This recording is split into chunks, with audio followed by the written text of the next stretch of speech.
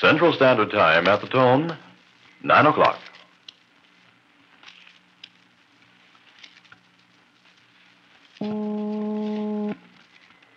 Remember, a Hallmark card when you care enough to send the very best.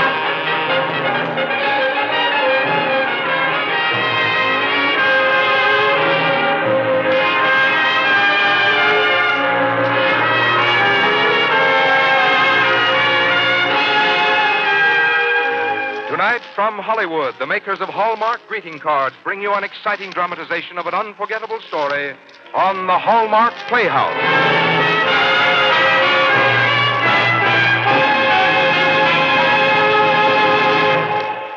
Tonight's story was chosen from the whole world of fiction by one of the world's most popular authors whose knowledge of stories that will entertain you and stir your imagination is universally recognized. Hallmark is proud to present the distinguished novelist, Mr. James Hilton.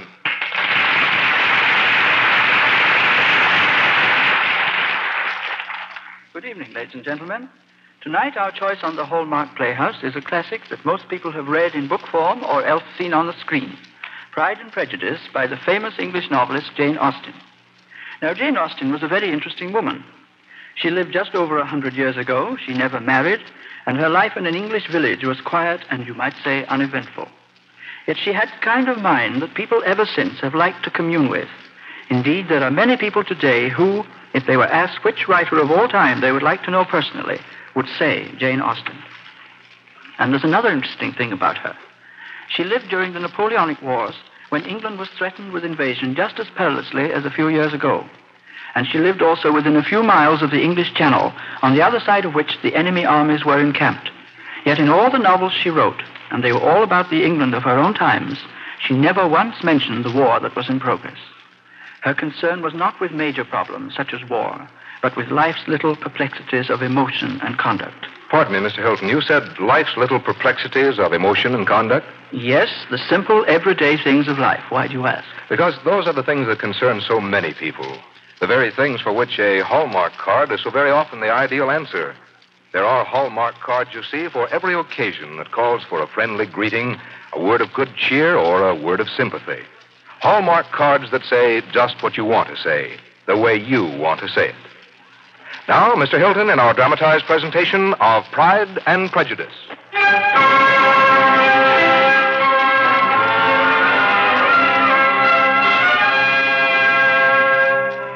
Jane Austen begins her celebrated novel Pride and Prejudice with these words It is a truth universally acknowledged that a single man in possession of a good fortune must be in want of a wife. That was Mrs. Bennet speaking, wife of Mr. Bennet, of the estate known as Longbourn in England, and the mother of five daughters. Mrs. Bennet made her rather astounding statement one beautiful spring morning, and then she turned to her esteemed husband and continued. My dear Mr. Bennet, have you heard that someone's taken Netherfield Park at last? I have not. They have. Mrs. Long has just been there, and she's told me all about it. Aren't you going to ask me who's taken it? Uh, yes, my dear. Uh, who has taken it? Well, Mr. Bennet, since you're so eager to know, Mrs. Long says that Netherfield's been taken by a young man of large fortune from the north of England. He's to take possession almost immediately. What's his name? His name is Bingley. Oh, beautiful name, isn't it? Bingley. It has a positively bell-like quality. Wedding bell. Is he married or single? Oh, single, my dear, single. You don't think I'd have time to be so interested if you were married, do you? Ah, Bingley, a single man of large fortune. What a fine thing for our girls. Of course, he must marry one of them. Now, I want you to call on him as soon as he arrives. Mrs. Bennet, I, I really have some pressing matters to attend to. And if you don't mind, I'd like to have my library to myself. Mr. Bennet, how can you speak to me in such a manner? You have no sympathy for my poor nerves whatever. My dear, pardon the contradiction, but I have the highest possible respect for your nerves. They're my old friends. They've lived with us for the past 20 years. Will you call on Mr. Bingley? Uh, madam, I'll do anything to get my library to myself, even murder. Very well, Mr. Bennet. You needn't get violent about it. I shall leave you immediately. Uh, thank you, Mrs. Bennet. for that mercy. Much thanks.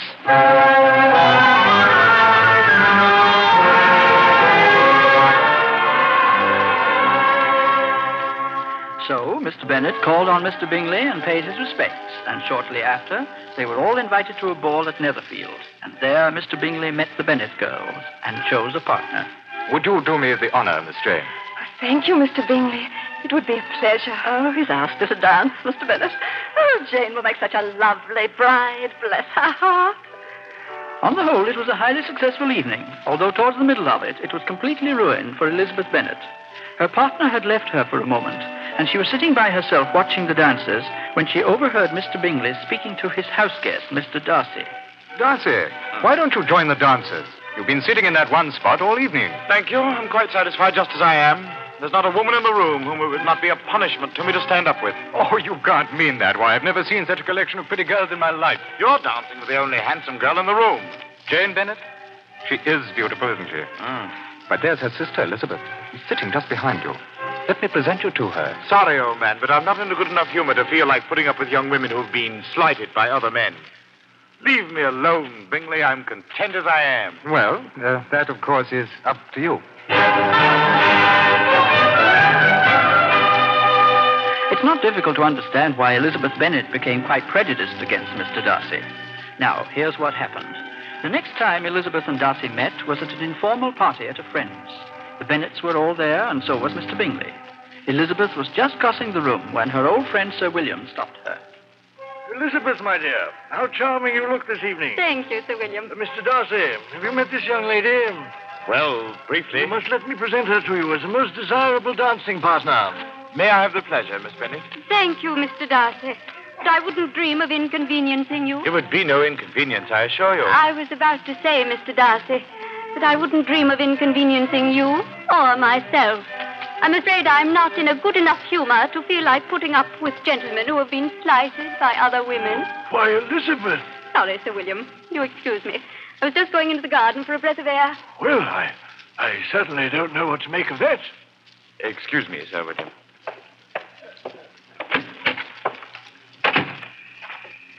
Miss Bennet. Oh, Mr. Darcy. don't you know it takes two people to appreciate the moonlight? What an amazing conceit you have, Mr. Darcy. To think that you could add anything to the moonlight. You overheard what I said the other night. You weren't being particularly discreet. I'm confident a great many people heard you. I apologize. I'm sorry if I offended you. You seem to have quite a talent for being offensive. May I be permitted to say that you're rather adept at that yourself? Then why do you bother to seek my company? At this moment, I can't imagine why. I'll be glad to leave you the garden to yourself. No, I'll leave. Excuse me, Miss Bennet. I'll be happy to, Mr. Darcy.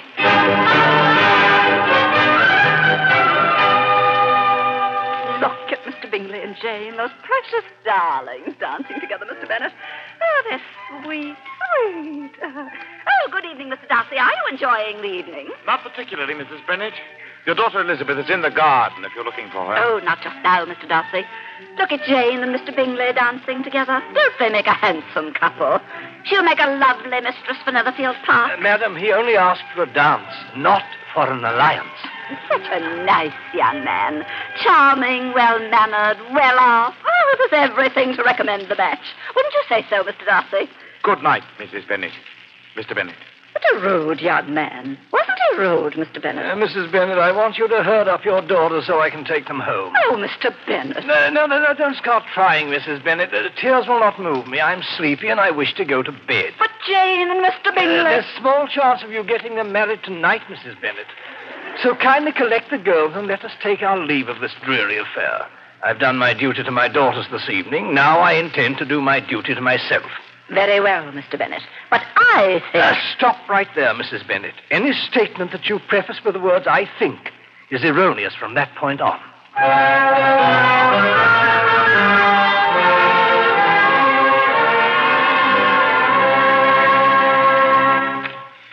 Darcy, what are you doing out here in the garden at this hour? It'll be dawn soon.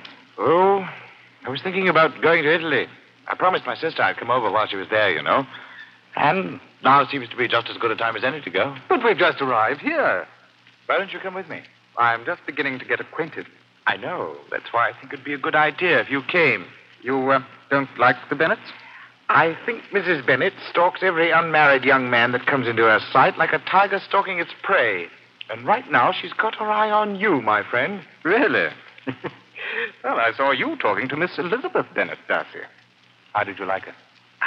I disliked her so much, it's rather frightening. Hmm. Why is it frightening?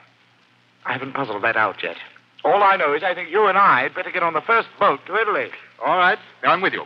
I'm certainly not going to stay down here with just my sister for company. If you're resolved on going, I'm going with you. It's dawn. We better get some sleep.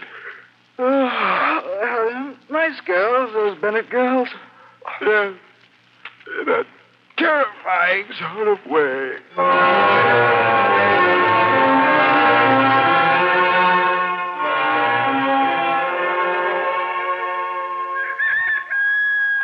Uh, Mrs. Bennet, it's morning. You've been charging up and down all night. Elizabeth wants to go to bed and get to sleep. So do I. Mr. Bennet, if you don't care anything about the future of your daughters, I do. These things must be planned in advance and acted upon accordingly. Ah, now, Jane, of course, will marry Mr. Bingley. And I insist Elizabeth must marry your cousin, Mr. Collins. Mother, I've told you I'm not in love with Mr. Collins. Elizabeth, I can't wait for you to fall in love with him. You could just marry him and fall in love when you get around to it. If you don't, I shall cease speaking to you from this moment. Well, now, Elizabeth, an unhappy alternative seems to be before you.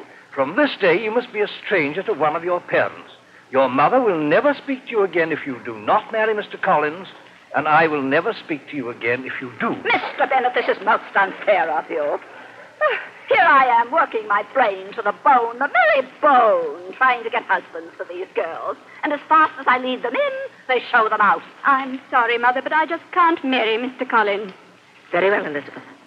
You've hurt your mother deeply and unforgettably. I'm very sorry, Mother. Go to your room and reflect on your willful behavior. Yes, Mother. But I won't marry Mr. Collins. Mr. Bennet. Uh, don't look at me, madam. I won't marry him either.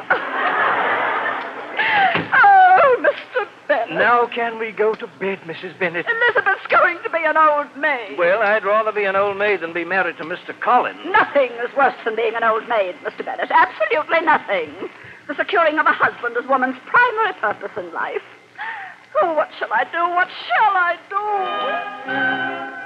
do?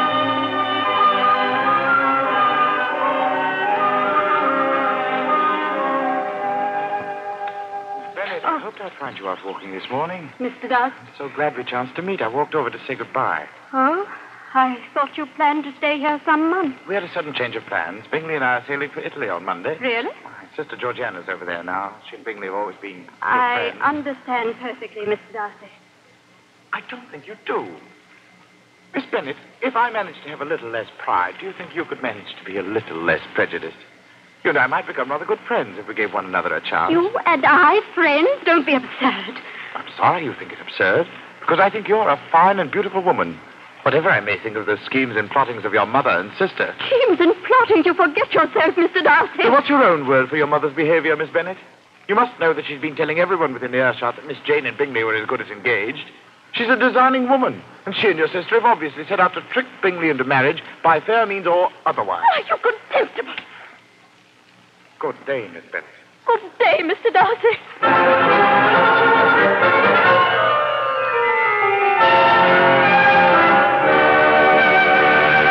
Oh, Mr. Bennet. Now I've got to start all over again.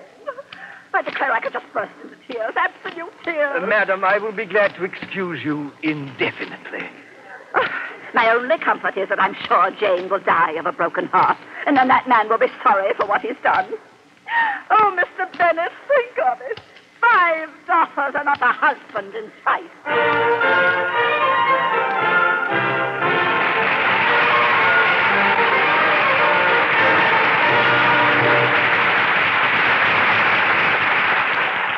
You're listening to Pride and Prejudice, a story selected for you by James Hilton and presented on the Hallmark Playhouse.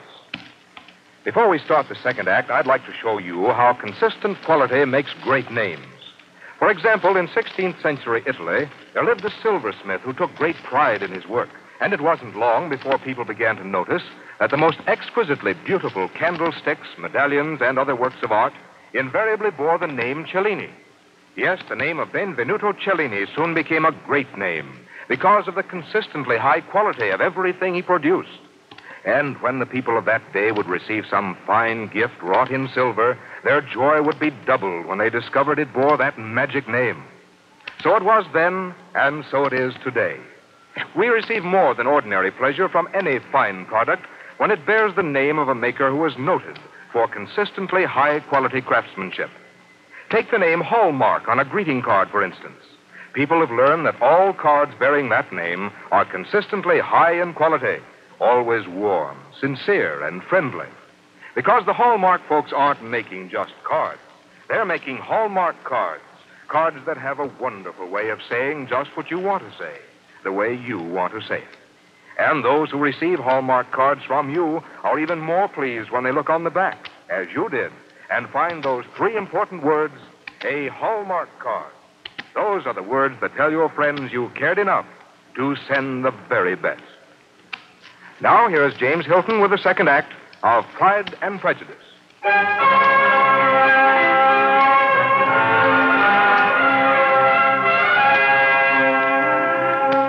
And now let's return to the England of Jane Austen and her immortal story, Pride and Prejudice.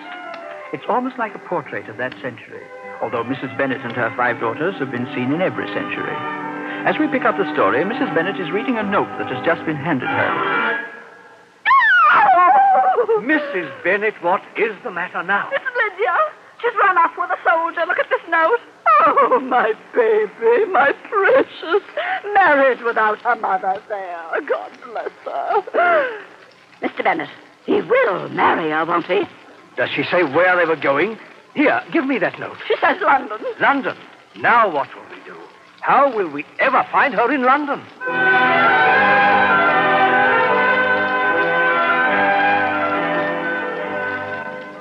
While Mrs. Bennet was crying and Mr. Bennet was pacing his study, Elizabeth, who was visiting her aunt and uncle in Kent, was receiving a most unexpected caller. Why, Mr. Darcy, I thought you and Mr. Bingley planned to remain in Italy for some time. No, we, uh, we had a change of plan. I, uh, I only just heard you were in Kent. I wanted to pay my respects. My own estate is only a mile or so from here, you know. Yes, I know. Bingley's my house guest at the moment. I hope you'll come over and visit us. I'm leaving for home in the morning. I trust that all is well with Mr. Bingley. Miss Bennet, I feel I must say that I'm not here because I believe I can alter any of the things I said at our last meeting. My feelings towards your mother remain the same. And yet, in spite of them, I must tell you that no matter how I've struggled against it, I must admit how deeply and how completely I do love you and admire you. Mr. Darcy. Elizabeth, I offer you my devotion. And a name of honor through many generations. The name Bennet has not been precisely a dishonorable name, Mr. Darcy. I never meant to suggest it was. Mr. Darcy, I have never asked for either your good opinion or your love. And I'm amazed that you have chosen to bestow them on me. If I cause you pain, forgive me. Whatever pain I cause you can be nothing to the unhappiness my sister has endured the past week. Well, Bingley has a mind of his own, you know. In the final counting, he'll do what he means to do. You cannot make the affairs of other people the issue between you and me. The only issue between you and me has been our own two selves from the moment of our meeting, Mr. Darcy. You never have been at a loss to express your distaste for my family. I think it would be extremely inadvisable of you even to consider joining it. I assure you that you are the last man in the world whom I could ever be prevailed upon to marry. You've said quite enough, Miss Bennet. I comprehend your feelings perfectly. I'm only ashamed of what my own have been. Forgive me for taking up so much of your time, and accept my best wishes for your health and happiness.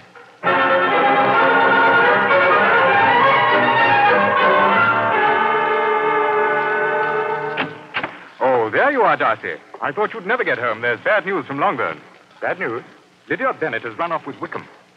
Wickham? Yes, the son of your housekeeper. That's impossible. What opportunity would Wickham have of meeting the Bennets? Wickham's with the regiment now, and they were stationed near Longbourn. Oh, you know, I haven't seen Wickham for years. I best leave for Longbourn immediately. I may be able to help in some way. I'll go with you. You know, it, it's too bad. The Bennets are a fine family. And Elizabeth would be so distressed. Oh, well, I must say it's extremely easy to see which way the wind blows with you, Darcy. No. But it is extremely easy to see which way the wind should have blown.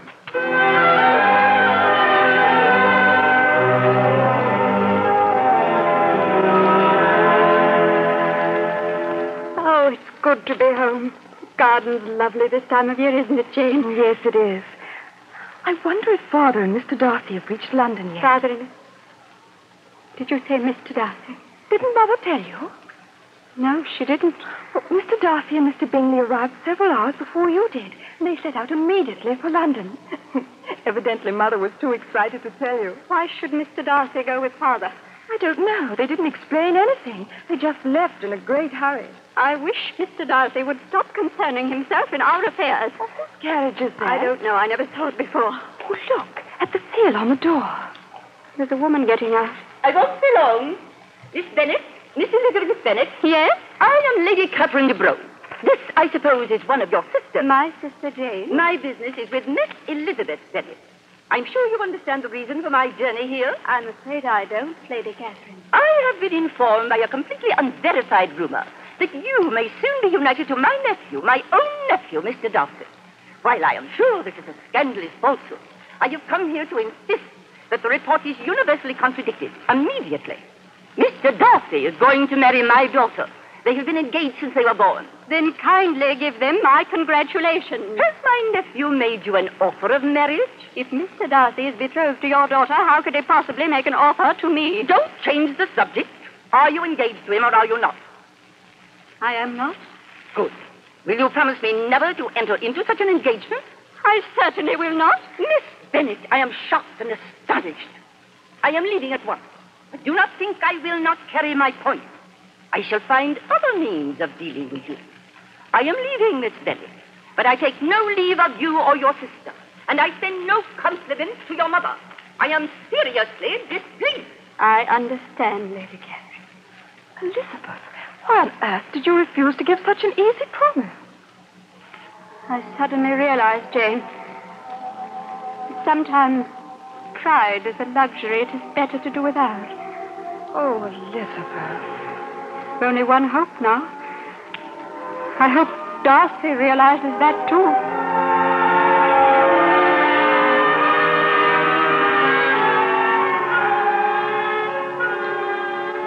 Oh, Lydia, my baby, how very sweet you know. Mrs. Wickham is my name now, Mother. Oh, to be sure, Mrs. Wickham. Mrs. Wickham. what a lovely, lovely name. Mrs. Bennet, Mr. Wickham is in the carriage waiting for Mrs. Wickham. They have a long drive ahead of them if they're to join the regiment tonight. Where did Mr. Darcy go? Oh, he's out walking around the grounds somewhere. Oh, do thank him again. If it hadn't been for him, I don't know what we would have done. He paid Wicky's debts and gave us some money to start out on. How did you find them, Mr. Bennet? Wicky had stayed in London before, and Mr. Darcy had the address. Oh, I wish you'd let Mr. Wickham come into the house, Mr. Bennet. Uh, no, Mrs. Bennet, I've been forced to let him in the family. But I see no reason why I should be forced to let him in the house. But he's such a darling, Daddy. He's a darling good for nothing, that's what he is. Oh, don't speak of him that way, Mr. Bennet. Remember, he's our Lydia's husband. Will you tell Jane and Elizabeth goodbye for me? And tell them I'll be over to see them next week. Where are those girls? Well, Elizabeth is alone, but Jane. Oh, Jane is walking with Mr. Bingley.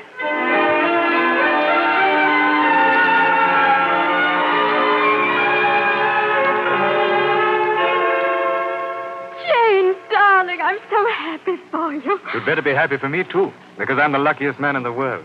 I know I'm the luckiest girl. I still can't believe you love me. Oh, Darcy kept after me, you know. All the time we were in Italy, he was saying, as long as you're sure, go back and get her. Don't let her get away from you. Where is he? Oh, uh, he's walking around in the garden somewhere. Why don't you find him while Jane and I go and speak to Mr. Bennet? I think I will. Mr. Darcy? Mr. Darcy? Oh, Mr. Darcy, Miss Elizabeth.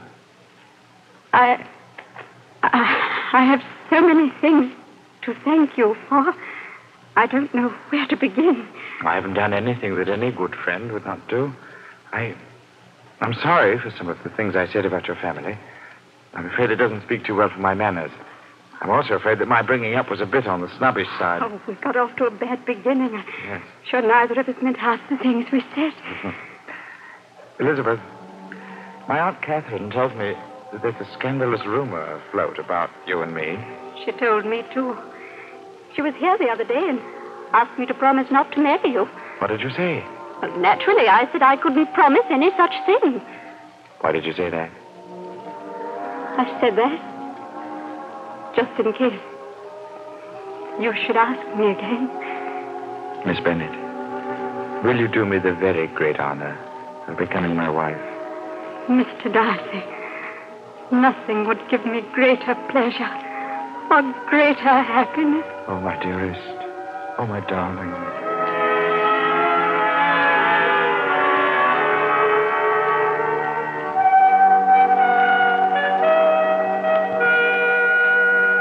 Oh, Mr Bennet Mrs. Bennet, I'm very sleepy. What on earth are you crying about now? Lydia's married, and Jane and Elizabeth soon will be. The other two girls might go at any moment. Oh, Mr. Bennet, I've lost my baby. Madam, you confuse me and confound me completely. That's because you've never been a mother, Mr. Bennet. Sometimes, Mrs. Bennet, I feel like yours. Oh, why, Mr. Bennet.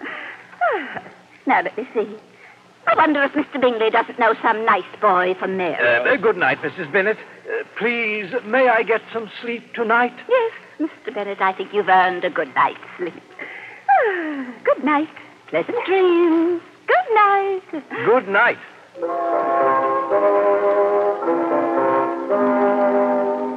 Mr. Bennet is very tired, and so let us just linger long enough to tell you that everyone lived happily ever after, as was the custom in those days. And let us wish Mr. Bennet and Mrs. Bennet a most pleasant good night, and put Jane Austen's Pride and Prejudice back on the bookshelf to read again someday. In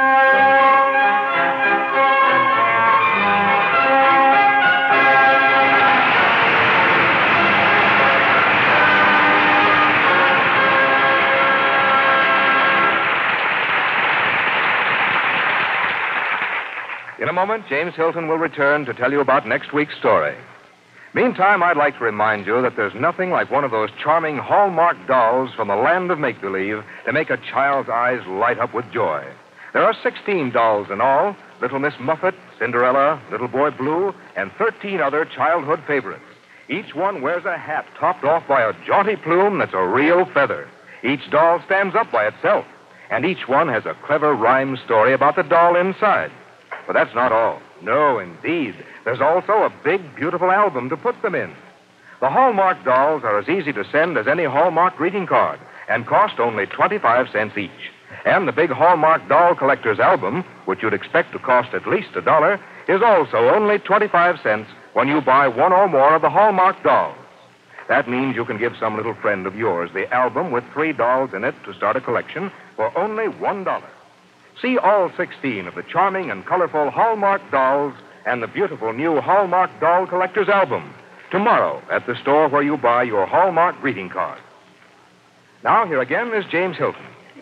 Next week, we have a frolicsome story called Girls Are Like Boats by Charles Rawlings. A story which we are proud to offer on the air for the first time, and I think you'll like it.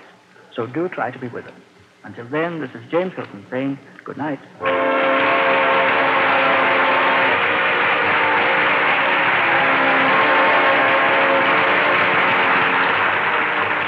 Tonight's story was adapted for radio by Jean Holloway. The music was arranged and conducted by Lynn Murray. To be doubly sure of the finest quality, always look on the back of your cards for those three identifying words, a Hallmark card. Remember, Hallmark cards when you care enough to send the very best. Next Thursday night, James Hilton presents his story selection for the week, the first radio performance of the amazing story, Girls Are Like Boats by Charles Rawlings. And the following week, Mr. Hilton has selected The Citadel by A.J. Cronin. So until then, this is Frank Goss saying good night to you all.